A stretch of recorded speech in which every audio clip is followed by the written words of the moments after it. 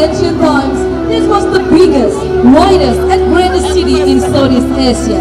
Pada subtema ini kami akan menampilkan kedaton macan putih yang dibangun oleh Prabu Tawang Alun. Pada zamannya, kedaton ini merupakan kedaton yang terbesar, terluas, dan termegah di Asia Tenggara. Please welcome subtema 4, Kedaton!